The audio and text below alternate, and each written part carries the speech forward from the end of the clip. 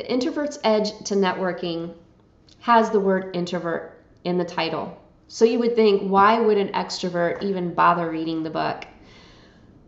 What I found is that the systems that it has in place gives me the confidence to be in any networking situation and not sound salesy.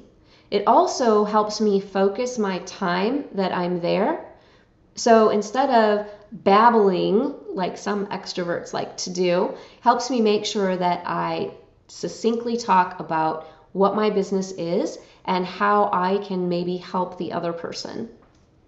So it's not just for introverts. The systems that it has in place apply to all people types, including us extroverts. The I'm on a mission script from the introvert's edge to networking makes me feel like I am really explaining what my what the core of my business is and not that I'm trying to sell you anything.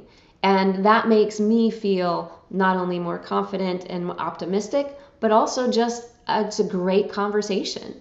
I would recommend the Introvert's Edge to Networking to anyone, both uh, business owners and people that are in a corporate type job, because it gives you that confidence that you want at a networking event to be able to express yourself succinctly about what it is you're looking for.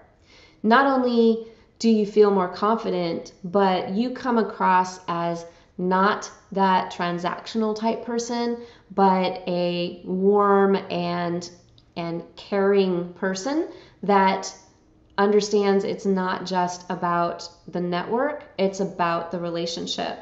And by far, you don't sound salesy